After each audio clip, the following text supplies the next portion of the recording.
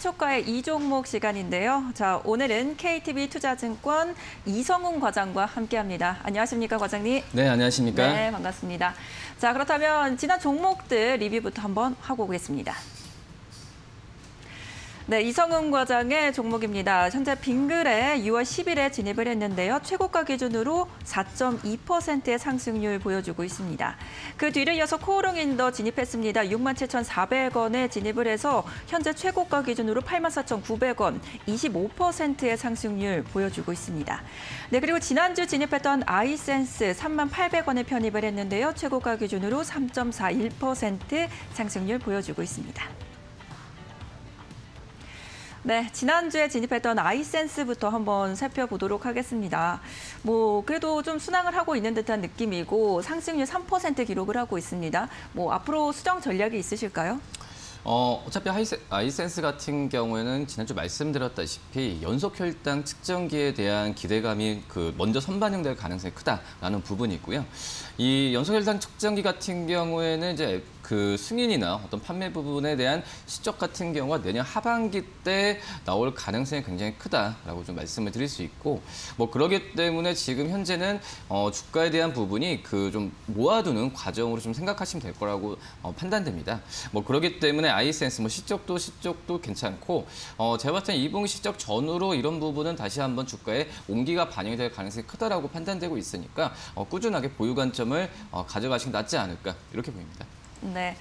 어제 조금 이제 시세가 밀리면서 어제 종가 기준으로는 좀 마이너스를 기록하긴 했지만 꾸준하게 들고 가면 좋을 장기 종목으로 선택을 해주셨고요. 네, 코오롱 인도도 사실 목표가 넘어간 뒤에도 시세를 많이 내고 있거든요.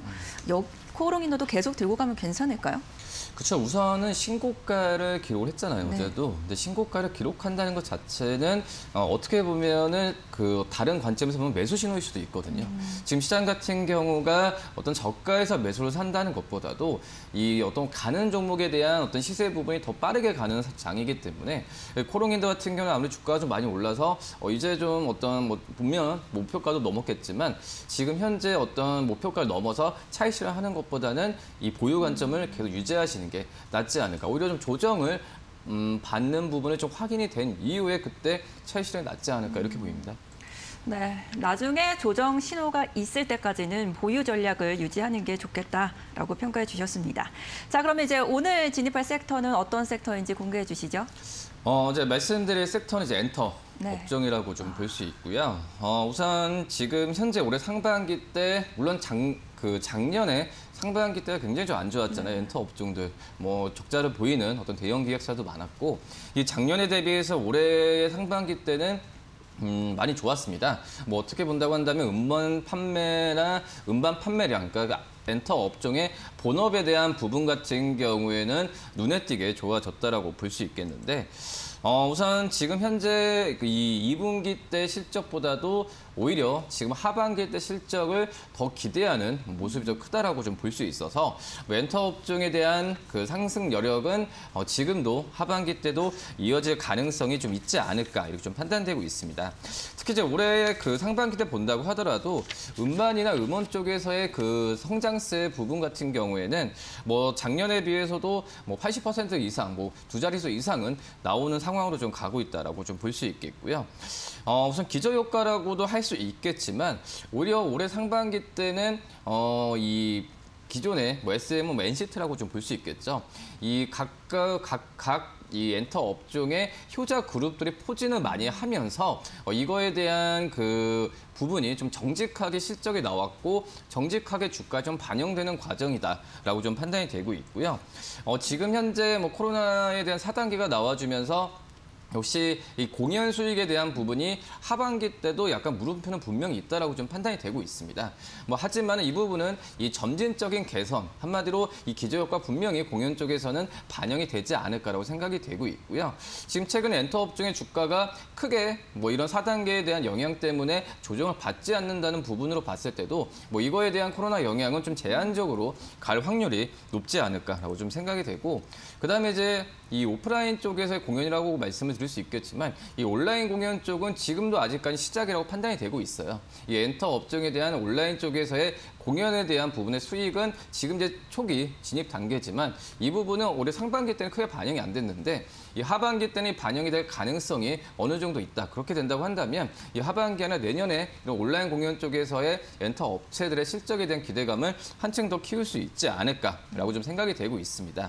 뭐 지금 현재 봤을 때도 이 음원이나 어떤 온라인 공연에 대한 본업에 대한 가치는 훼손이 안 되는 상태라고 볼 수 있겠고 뭐 아시겠지만 최근 엔터 업종에 대한 어 주가에 또 하나의 작용을 하는 요소가 바로 이 플랫폼이라고 볼 수 있거든요. 뭐 위버스나 뭐 이런 게 대표적이라 볼 수 있겠는데 이런 뭐 위버스나 유튜브 또 이제 이 각 그룹에 대한 이 채널이 유튜브 쪽으로 그 활성화되면서 뭐 대표적으로 블랙핑크도 그렇고 뭐 BTS도 그렇고 뭐 이런 기업들이 해외 아티스트를 대비해서 구독자 수나 이런 부분이 굉장히 높아지는 구조로 가고 있거든요. 뭐 이거에 대한 수익 같은 경우에는 아직까지 이 음원이나 음반에 비해서 뭐 미미할 수 있겠지만 이거에 대한 파생에 대한 부분은 향후에 가장 큰 어떤 주요 요소라고 좀 판단이 되고 있습니다. 뭐 그렇기 때문에 지금 엔터 업종 같은 경우에는 어 정리를 하자면 본업에 대한 상승세 훼손은 안 되고 있고 그래서 뭐 신규 어 실적에 대한 사업에 대한 부분 같은 경우에는 반영되는 요소가 많기 때문에 엔터 업종에 대한 관심을 가지는 낫지 않을까 이렇게 보입니다. 네. 엔터 업종 사실 최근에 정말 많이 올라가지고 어떤 업- 종목을 어떻게 진입해도 괜찮을까라는 고민하시는 분들 많으실 것 같은데 그래서 오늘 어떤 종목의 목표가를 어떻게 들고 오셨을지가 너무 궁금합니다. 공개해 주시죠. 어, 우선 저도 이제 많이 고민을 했어요. 엔터 업종에 대한 부분에 있어서 최근에 뭐 SM도 잘 가잖아요. 근데 SM 같은 경우에는 어, 우선 NCT예요. 제가 봤을 때도 NCT에 대한 부분이 상반기 때도 그렇고 하반기 때도 작용할 것으로 좀 보여주고 있는데 이 어느 정도 이제 그 NCT 그룹의 기여도나 이 매각 이슈 이 부분은 주가에 좀 많이 좀 반영이 되지 않았나. 그러니까 한마디로 뭐 추가적인 상승률은 있겠지만은 이 지금 오늘 추천주로 하이브로 말씀을 드릴 텐데 하이브보다는 어, 상승세가 어, 좀 비교되는 부분으로 좀 가지 않을까. 너무 많이 올랐기 때문에 상승률은 하이브 쪽에 더 있지 않을까라고 생각이 되고 있고요. 그다음에 이제 그 YG엔터도 많이 물어보세요. 이제 이제 블랙핑크 쪽에서의 뭐 입점의 위버스에 대한 입점에 대한 신규 수익원에 대한 기대감도 큰데 뭐 이런 부분을 종합을 해봤을 때는 이 엔터 어떤 사사라고 할 수 있겠죠. 사사 중에서는 하이브에 대한 어, 좀 기대감이 더 크다라고 좀 말씀드릴 수 있겠고요. 지금 현재 뭐 2분기 실적을 본다고 하더라도 이 어떤 다른 기업들보다도 하이브에 대한 영업이익에 대한 부분이 평가가 굉장히 좀 좋다라고 좀 생각이 되고 있고요. 지금 현재 뭐 2분기 영업이익은 한 뭐 270, 원래는 몇 달 전까지만 하더라도 330억 이상은 증권사에 잡았는데 이 하이브가 이 비용, 그러니까 사후 기존도 있었고 사명도 변경됐잖아요. 그리고 여러 가지 이 MD 쪽에서의 마케팅 비용 때문에 기존에 어떤 300억대의 영업이익에서 200억대 후반으로 내려왔는데 어 제가 보더라도 주가에는 뭐이 그러기 이런 상황 때문에 이 다른 엔터 기업들보다 주가 많이 올라가지 않았지만은 지금 현재 뭐 이런 우려감에 대한 부분은 이미 주가에 반영됐고 오히려 주가 올라가는 모습을 보여주고 있거든요. 뭐 그러기 때문에 이 하이브에 대한 부분에 있어서는 악재에 대한 리스크 부분은 이제 좀 거의 다 끝났다라고 좀 생각이 되고 있습니다. 뭐 그러기 때문에 하이브에 대한 그 매수 관점을 좀 말씀을 드리도록 하겠고요.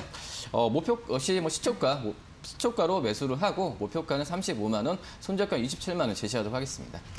네, 요즘 연일 뭐 2분기를 넘어서 하반기까지 좋은 전망들이 이어지고 있는 엔터주입니다. 그 가운데서도 아직은 상승력이 좀 더 남아있다라고 판단이 되는 하이브 제시해 주셨고요. 목표가 35만 원, 손절가 27만 원 제시해 드립니다. 네, 오늘 말씀 감사합니다. 네, 감사합니다.